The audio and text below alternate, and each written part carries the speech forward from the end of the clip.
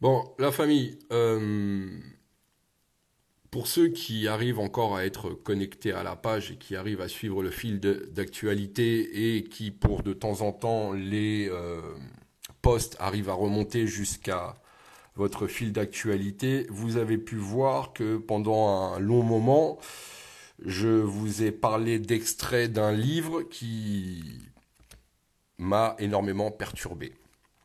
Et aujourd'hui, je voudrais vous parler de, ce livre en vous faisant, en faisant un, lien euh, direct avec l'actualité et de vous parler de, de, mon héros du jour. Alors je sais, je vais vous choquer, mais c'est mon héros du jour parce que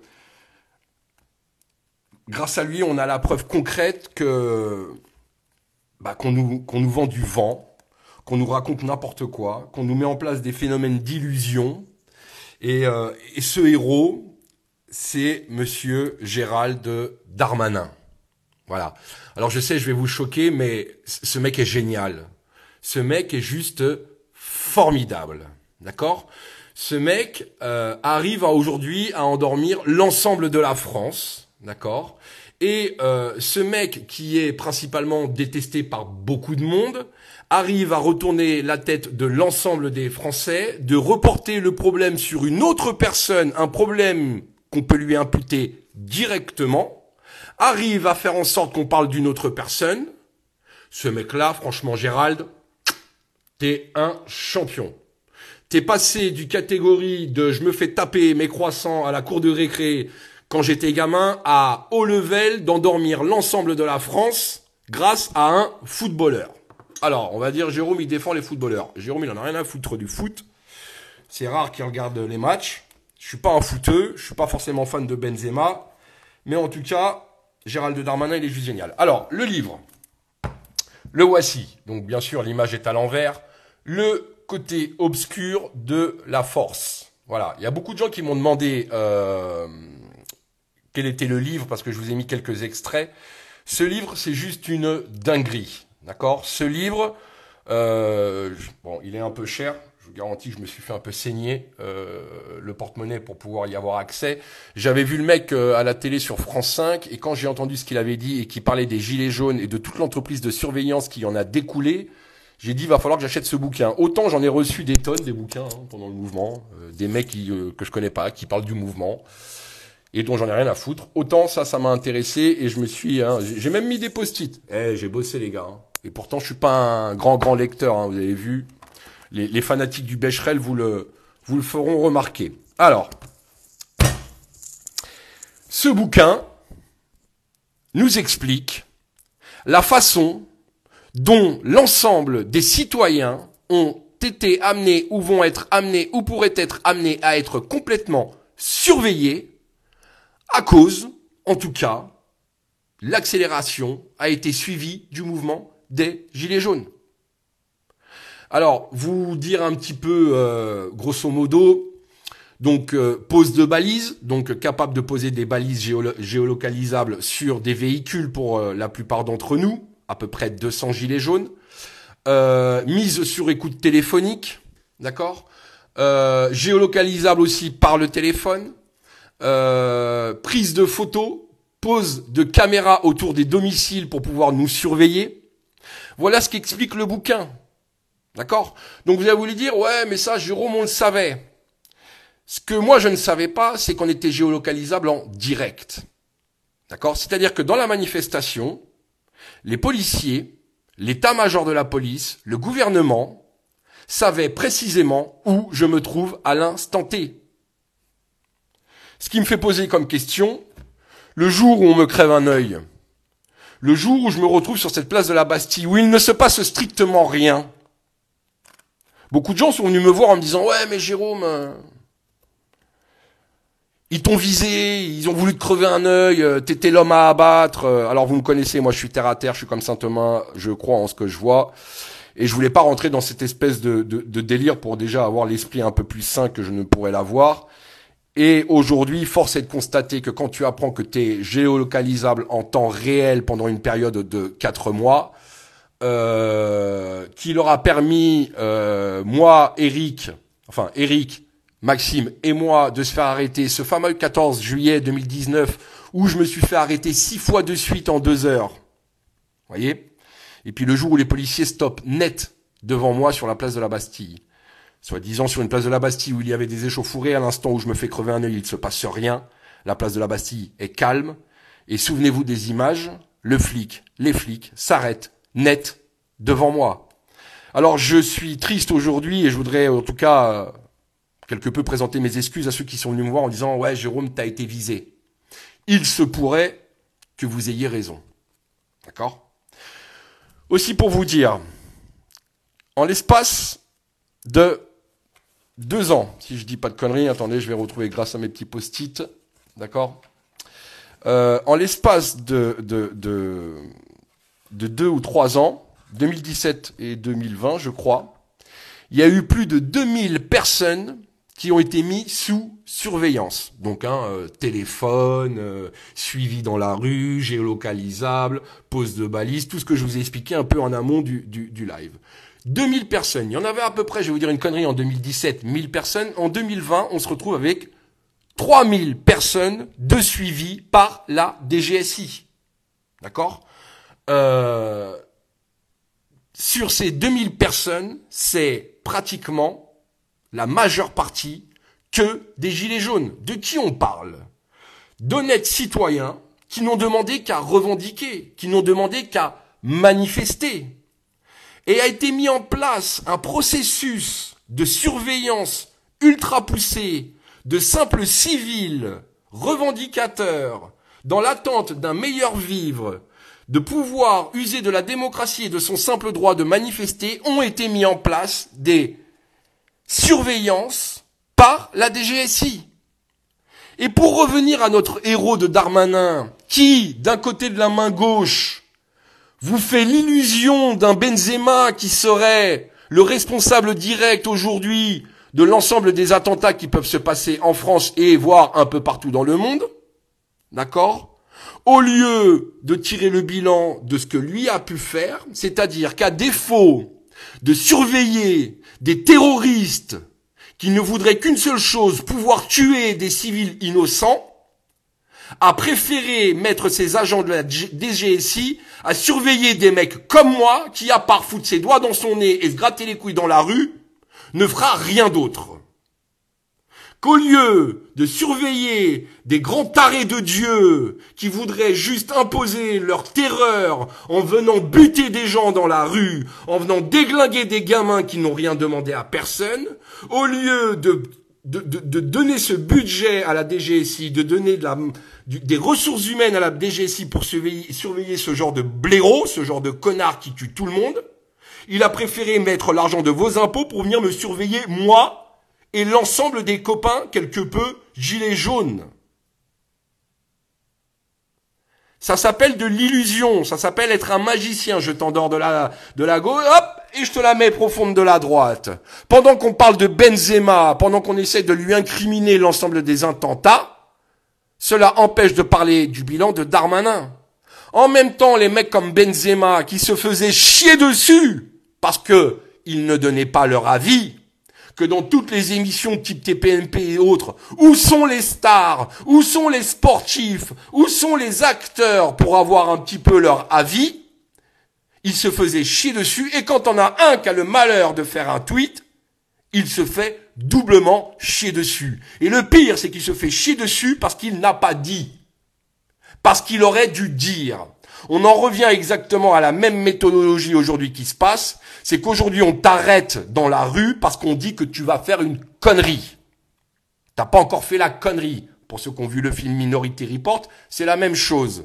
En vue de commettre des délits, on va t'arrêter. Aujourd'hui, on engueule un mec, on le met à l'affiche dans l'ensemble des médias parce que il n'a pas fait une connerie, parce qu'il n'a pas dit cela, parce qu'il n'a pas été dans le sens du ministre. Et le mec qui se croit dans une cour de récré commence à incriminer les gens, à les mettre au devant de tout public. Je tiens à rappeler que Darmanin a porté plainte contre moi pour un tweet. Je me suis retrouvé au tribunal en l'espace de deux mois et demi pour un tweet à cause de Darmanin. Je tiens à préciser que Darmanin a perdu et que j'ai été relaxé et que mon casier judiciaire jusqu'à aujourd'hui est constamment resté neutre, blanc, vierge comme un nouveau-né. D'accord? Donc voilà, je voulais. C'est vrai que ça sort un petit peu de de ce que j'ai l'habitude de parler, mais j'en peux plus de voir ce mec-là se balader sur des plateaux télé, crier de l'esbrouf, et pendant ce temps-là, des terroristes se baladent dans la rue, D'accord À défaut d'être surveillé par la DGSI, qui est beaucoup plus préoccupée à surveiller d'honnêtes citoyens, gilets jaunes ou tout autre opposant politique aujourd'hui qui ne veut que manifester, faire entendre sa voix. D'accord Vous avez une différence entre vouloir une meilleure vie et de ceux qui veulent tuer. On va imposer une surveillance à ceux qui voudraient avoir une meilleure vie, améliorer leur quotidien, à défaut de surveiller ceux qui veulent nous en empêcher. Donc, pour ceux qui voudraient, eh, ce livre-là, parce qu'apparemment Darmanin voudrait contrôler les réseaux sociaux et pouvoir rentrer dans les groupes de discussion pour voir ce qui s'y passe. Mais Darmanin, arrête de vendre du rêve, tu n'as pas inventé l'eau chaude. Pendant le mouvement des Gilets jaunes, je vous garantis que c'est écrit dans ce bouquin, Castaner et Macron venaient dans les différents groupes de, de, de discussion Gilets jaunes, anonymement, pour y voir ce qui s'y disait, pour y voir ce qui s'y passait. Chaque vendredi, chaque vendredi avant les samedis gilets jaunes, il y avait jusqu'à 20 000 demandes de mise sous surveillance de citoyens. Jusqu'à 20 000 demandes toutes les semaines pour surveiller des manifestants. D'accord? Donc l'entreprise de surveillance, quand vous avez Macron et à la limite, je me demande s'il n'est pas venu sur un, de mes groupes de discussion que j'avais pu créer, ou tous ceux, tous les autres qui ont pu être créés. Puis moi, je me souviens à l'époque,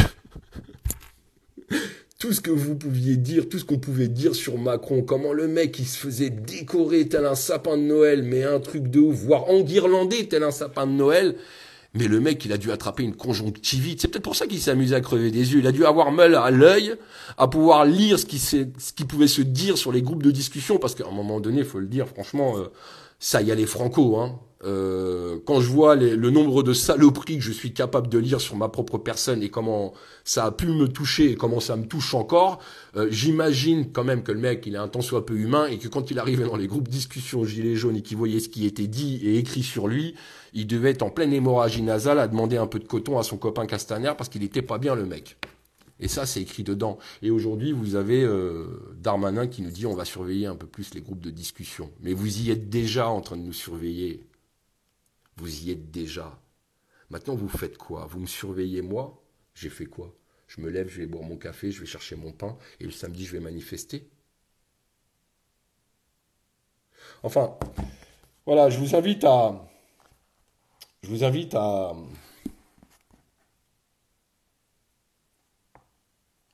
Regardez, Christophe Castaner et Emmanuel Macron sont si fébriles qu'ils suivent anonymement quelques boucles de messagerie gilets jaunes pour savoir ce qu'il s'y passe. C'est pas moi qui le dis, hein. C'est juste génial. Hein pour la géolocalisation, alors qu'est-ce qu'il disait sur la géolocalisation? Je vais vous dire. Hop, hop, hop. Et ça, ça a quand même été énorme. Moi, j'ai, prévenu mon avocat hein, sur la géolocalisation parce que ça, c'est quand même une dinguerie. Maintenant, tu peux me suivre, hein, frérot. Hein. Je t'invite pas à me suivre euh, avec la géolocalisation. Comme je l'ai dit aux gens qui disent ouais, je te suis sur les réseaux. Je vous invite pas à me suivre aux chiottes. Je risquerais d'en décevoir plus d'un. Alors, il soupçonne une attaque contre le président de la République Emmanuel Macron. Pardon, ça a coupé un peu. Alors je reprends. Il soupçonne une attaque contre le président de la République Emmanuel Macron. Au vu du risque de troubles graves à l'ordre public, des surveillances téléphoniques sont aussitôt autorisées pour quelques jours sur plusieurs cibles avant d'être levées, faute de menaces avérées. Coïncidence Ce jour-là, parmi plus de 200 personnes interpellées dans Paris en marge du défilé, trois leaders, hein, vous savez ce que j'en pense du mot leader, mais bon, euh, Drouet, Nicole et Rodriguez sont arrêtés le matin aux alentours des Champs-Élysées et placés en garde à vue avant d'être relâchés dans l'après-midi après une fois, une fois que les procédures lancées ont été classées sans suite. Voilà. Suivez-moi les gars. Suivez-moi. Follow me. Vous allez pas, vous allez être sérieux. Eh, j'imagine les flics qui, qui, qui, qui, qui m'ont suivi la vie de merde qu'ils ont dû avoir dans leur bagnole à suivre un pauvre citoyen qui, à part aller manifester, ne faisait euh, pas grand-chose d'autre. Donc Darmanin, petit message, je vais y aller franco parce que je sais que tu as juste la, les, les, les, cerises pour emmener au tribunal, euh, c'est à quel moment que tu arrêtes de vendre du rêve? C'est à quel moment que tu arrêtes de faire chier d'honnêtes citoyens qui veulent juste manifester en te prenant pour Dieu le pape à interdire des, manifester, des manifestations et la liberté d'expression hein? euh, D'ailleurs, je pense qu'il est dans l'attente, euh, on est dans l'attente que Darmanin voudrait dissoudre le Conseil d'État, ça l'empêche d'être un petit peu le, dictateur du, ministère de l'Intérieur. Euh, c'est à quel moment que tu t'occupes des vrais terroristes D'accord? C'est à quel moment que tu nous lâches les couilles, nous citoyens qui veulent manifester D'accord? C'est à quel moment que tu utilises la police pour s'occuper des vrais méchants D'accord? Que tu utilises la police pour aller chercher ceux qui veulent tuer et non pas ceux qui veulent une meilleure vie D'accord? C'est à quel moment que tu arrêtes de vendre de l'illusion, que tu arrêtes de vendre du rêve? Parce que je vous garantis que si aujourd'hui euh, on était capable de transformer en énergie, de quoi permettre de faire avancer le monde, euh, le vent que peuvent procurer les hommes politiques, on n'aurait plus besoin d'éoliennes pour euh, détruire notre si beau paysage dans, dans, dans le monde. Parce qu'ils dégagent tellement d'énergie à faire du vent que je suis sûr qu'on pourrait faire tourner la planète, ces gens-là. D'accord? Donc au lieu de nous vendre de la clim, au lieu de nous vendre du vent, Darmanin, occupe-toi des terroristes qui aujourd'hui viennent euh, mettre en danger nos professeurs, qui viennent mettre en danger nos enfants à l'école. Occupe-toi des terroristes qui se baladent dans la rue avec des couteaux et qui ont qu'une envie, c'est de nous égorger comme des moutons ou de planter des gens parce que ça leur fait plaisir pour pouvoir imposer leur terreur. D'accord? Et laisse-nous manifester tranquillement. D'accord? Arrête de nous mettre des manifestations parce qu'on sort dans la rue. D'accord? Arrête de vouloir nous empêcher de manifester. D'accord? Et je vous garantis que quand je suis auditionné au commissariat et que vous avez la, flic qui, qui, qui, ouvre le dossier et que vous voyez les photos de votre appartement, vous voyez les photos de là où vous habitez, ça m'est arrivé. D'accord? Vous voulez pas y croire. Vous vous dites comment est-ce possible qu'ils arrivent à prendre les photos de chez moi? Jusqu'à prendre des photos de chez moi pour un dossier de merde sur une audition de merde. Jusqu'à venir me surveiller jusqu'à chez moi.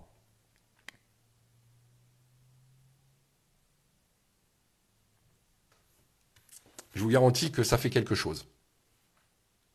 Ça fait quelque chose. C'est pas moi qui dis la vérité. Hein. Je vois les gens disent j'adore, tu dis la vérité. Je ne, dis, je ne donne aucune vérité. Ok? Je ne donne aucune vérité.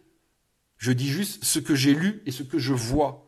Et si je viens vous voir aujourd'hui en live, c'est que depuis hier, je me ronge les doigts à venir vous parler parce que j'en peux plus de voir aucun journaliste qui est capable de regarder Darmanin et dire mais au lieu de surveiller 2000 manifestants, 2000 civils, 2000 personnes qui voulaient juste se battre pour le bien-être. Pourquoi vous ne surveillez pas d'éventuels terroristes? Je suis fiché S. Je suis fiché S. D'accord. J'ai une gueule de poseur de bombes. J'ai une gueule à vouloir tuer des enfants. Fiché S, ça veut dire que je suis suivi. Pendant ce temps-là, vous avez un petit con qui est parti tuer Dominique Bernard, qui n'a rien demandé à personne que instruire des élèves, faire son métier. Où vont les priorités du gouvernement? Tout simplement. Voilà. J'espère que vous partagerez ce live. J'espère que ça viendra aux oreilles de Darmanin pour qu'il s'aperçoive qu'il y a au moins un trou du cul qui s'appelle Rodriguez qui dit que tu nous la mettras pas à l'envers. Et j'espère que parmi les 700 personnes qui verront ce live, vous comprendrez qu'ils ne peuvent pas nous la mettre à l'envers et qu'à défaut de vouloir vous diviser, de savoir si c'est de la faute à Benzema, à défaut de savoir si Benzema c'est lui le responsable, à, défaut de savoir qui est le responsable parmi tous ceux qu'on vous étale sur le devant de la scène. Les vrais responsables, ce sont ceux qui sont en décision. Et ceux qui sont en décision aujourd'hui sont Darmanin. Donc au lieu de vous attaquer à votre voisin, au lieu de vous attaquer à celui que vous croisez dans la rue, au lieu de vouloir euh, penser que c'est de la faute d'un autre ou d'un tel, la seule responsabilité elle incombe aujourd'hui au gouvernement. Et ils arrivent à nous mettre dans la, dans la tête cette petite musique que va falloir s'habituer au terrorisme, qu'il va falloir nous être beaucoup plus vigilants. Mais quel pays de liberté de pouvoir vivre avec l'esprit qu'à tout moment, va falloir être vigilant parce que tu peux te prendre une bombe sur la gueule. Mais c'est quoi comme pays, cette France? C'est quoi ce pays-là où on me demande à moi, qui paye des impôts pour pouvoir vivre libre et tranquille sans être menacé par d'éventuels terroristes, On me demande encore à moi d'être vigilant. Vous faites, vous voyez, on y revient. Vous faites quoi de notre argent? Ah, vous me surveillez et vous surveillez tous mes copains qui regardent ce live et vous avez surveillé plus de 2000 gilets jaunes et d'autres opposants politiques. Il n'y a que dans les dictatures qu'on surveille les opposants politiques. Si opposant politique je suis. Il n'y a que dans les dictatures qu'on fait surveiller les militants. Si militant, en tout cas si j'ai la prétention d'être un militant. Mais de là à surveiller des citoyens qui sont descendus dans la rue juste pour mieux vivre. Voilà, je vais vous remontrer le livre. Hein le côté obscur de la force, hein, à quoi sont utilisées les forces vives de la police qui sont censées nous protéger, hein, à quoi elles sont utilisées. Hein. Bon, ça parle du LBD, ça parle des violences policières, hein, ça parle de, de, tout le bordel à la DGSI, de tout le bordel et de tout le copinage au ministère de l'Intérieur. Enquête sur les dérives du ministère de l'Intérieur et de sa police. Hein. C'est pas moi qui le dis. Hein. C'est écrit ici, juste ça enquête sur les dérives du ministère de l'Intérieur de la police. Eh, je vais vous dire, j'ai même le numéro de Pascal Pro. Et je lui ai envoyé, je lui ai dit, tiens, vous devriez lire ça, là. Au lieu de faire semblant de ne pas comprendre qu'à un moment donné, si on se fait péter des bombes sur la gueule, c'est pas à cause de Benzema. Hein, c'est à cause d'une bande de tarés qu'on n'est pas capable de surveiller comme il faut pour les empêcher de, de, de, de, d'en venir aux actes. D'accord? D'accord? C'est qu'on a des responsables politiques qui sont pas capables de gérer des ressources humaines pour pouvoir vivre dans un monde meilleur, chose qu'ils nous promettent à chaque élection. D'accord? L'ennemi, c'est pas ceux qu'on vous met au devant, c'est ceux qui s'occupent pas des vrais ennemis en tous les cas. Voilà. Hein? Vous m'avez demandé, voilà. Alors, euh, tout à l'heure au début du live, j'ai dit que j'en reparlerai. Il y a Titine Dimaou, une, une fidèle euh, qui, suit la page depuis, pratiquement le début, qui m'envoie un message et qui m'envoie un lien d'une vidéo qui passe sur TikTok. Et qui me dit Ah, super Jérôme, euh, bien pour l'appel, machin. Et je, je vois la vidéo, et c'est une vidéo qui lance un appel sur les Champs-Élysées de mémoire. Et c'est une vidéo qui date d'il y a trois ans. D'accord? Alors, je sais, je sais, ami. Euh, influenceur ou euh, créateur de contenu sur les réseaux TikTok, je sais que mon nom est bankable. C'est-à-dire que quand vous faites une vidéo, potentiellement, vous allez pouvoir gagner un petit billet. Si ça vous permet de vous nourrir, tant mieux, on va pas cracher dessus. Mais au moins, essayez de dater les vidéos parce que ça perturbe les gens. J'ai à peu près la même gueule qu'il y a deux ans en arrière. Donc quand les gens vont voir une vidéo antidatée, vont penser que la vidéo, elle est actuelle.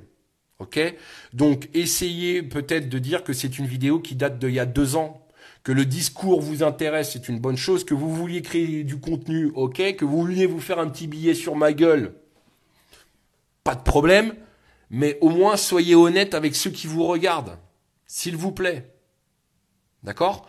Euh, Que je vous rapporte des milliards sur TikTok, entre guillemets, très bien, mais soyez honnête avec vos followers, soyez honnête avec ceux qui vous regardent. Dites que la vidéo, vous l'avez trouvée sur les réseaux et qu'elle date du, euh, je sais pas moi, 31 euh, février 2018. Euh, D'accord? Comme ça, les gens pensent pas que je lance un appel à aller sur les Champs-Élysées samedi prochain. S'il vous plaît. Voilà. Hein, si vous voulez faire de l'information sur les réseaux, c'est un outil qui peut être très utile à mettre des choses dans la tête des gens. Si vous leur commencez à leur mettre des conneries, on va pas avancer non plus. Ok? Voilà. Donc ça, c'était pour prévenir euh, euh, des, petites vidéos qu'on m'envoie en me disant euh, Ah ouais, Jérôme, c'est bien ce que tu as dit, j'étais pas au courant. Bah oui, c'était il y a deux ans. Donc forcément, ça date un petit peu, ou trois ans, ou en arrière. Voilà la famille. Euh, je vais vous laisser là-dessus. Je vais vous souhaiter une très bonne soirée. Merci aux, 700 personnes qui ont regardé ce live et j'espère que vous avez pu partager. Euh,